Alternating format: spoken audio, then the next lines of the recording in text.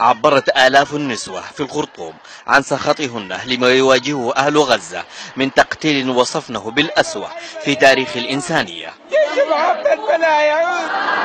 ليس هذا فحسب فقد تبرعنا بالحلي في حملة أطلقنا عليها جبل الذهب من أجل غزة.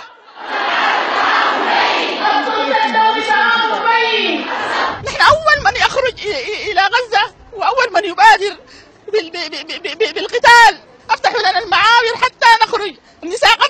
الرجال وصبت المتظاهرات جام غضبهن على النظام العربي الرسمي والدول الإسلامية.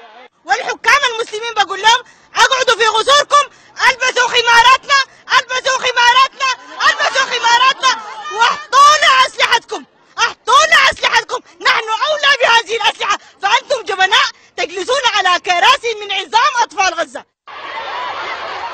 المتظاهرات طوقن السفارة المصرية وطالبن بفتح المعابر وتقديم المساعدات لأهل غزة.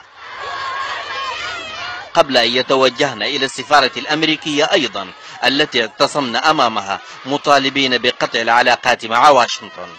كان غفل المعبر تواطؤا لهذه الضربة للغاز العرب ولا نرجو فيهم خير ولا ولا دايرين منهم حاجة يقدموا عليها بل يحلوا عن صدورنا.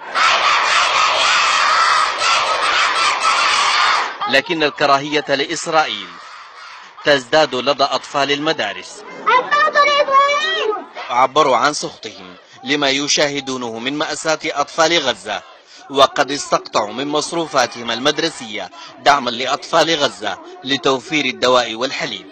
صرخة المتظاهرين تنادي بالوقوف مع غزة فهل من مجيب لوقف عدوان دخل مرحلة كسر العزم ضد الأبرياء من النساء والأطفال؟ الطاهر المرضي الجزيرة الخرطوم.